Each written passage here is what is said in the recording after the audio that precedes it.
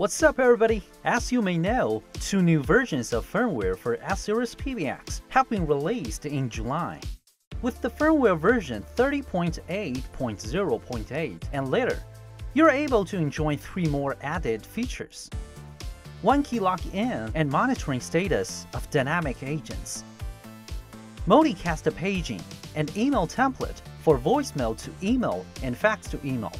So guys, want to know more functions and configurations? Catch up please, let's jump in right now. First of all, let's see one key logging and monitoring status of dynamic agents.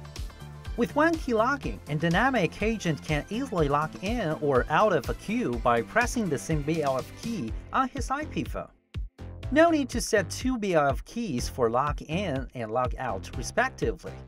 What's more, for the admin of queue, he can also set a BLF key on his IP phone to monitor the status of dynamic agents in the queue intuitively and easily. Alright, let's move on to see the settings. Mind that only those IP phones supporting BLF key can try this new feature. We would take Yealink phone as an example. The steps will be a little bit different according to IP phones brands and models. Say, we have a dynamic agent 2000 in Q6000, as well as an admin 1000. The dynamic agent wants to use one key login on his IP phone. So, first, log in to the web interface of the agent's IP phone. Get to the BLF key setting part, choose a key, set the type to BLF. In value, enter the feature code asterisk 75 plus the queue number in this format which will be asterisk 75 and queue number. So we enter asterisk 75 6000. Last, choose the account which has been registered to the PBX as the 2000.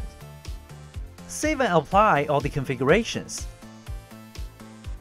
Now, we're able to use one key login. Press the BLF key we just set we will hear prompt announcing successfully logging. Agent logged in. Goodbye. Then, press once again to log out. We will also hear the prompt announcing successfully log out. Agent logged off. Goodbye. If the admin wants to monitor the status of Dynamic Agent 2000 at present, first log in to the web interface of the admin's IP phone. Turn to the BLF key setting page. Choose a key set the type to BLF. In value, just enter the feature code, the agent's extension number, and the queue number in this format, which will be asterisk 75, extension number, and queue number. So we're going to enter asterisk 75, 2000, asterisk 6000. Choose any account which has been registered to the same PBX. That's all on the admin's phone. Now, we can check the Agent 2000 status via the BLF LED. If the BLF LED turns red, it means the Agent 2000 has logged in the queue.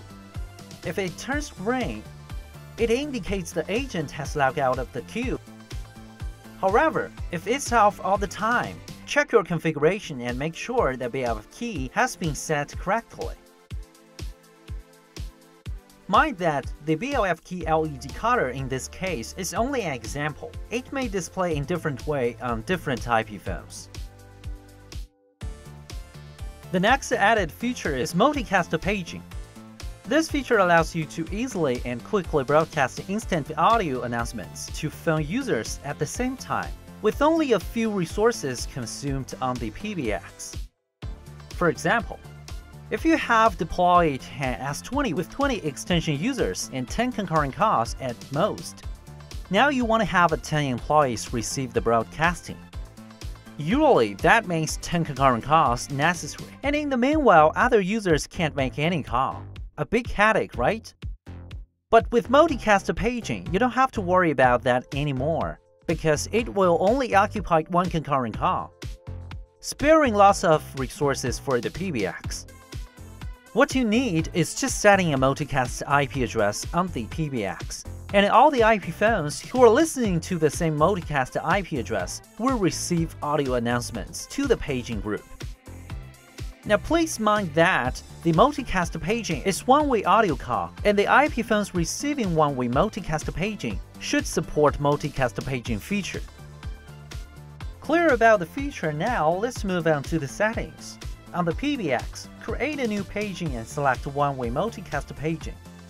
Then, enter the multicast IP address and port.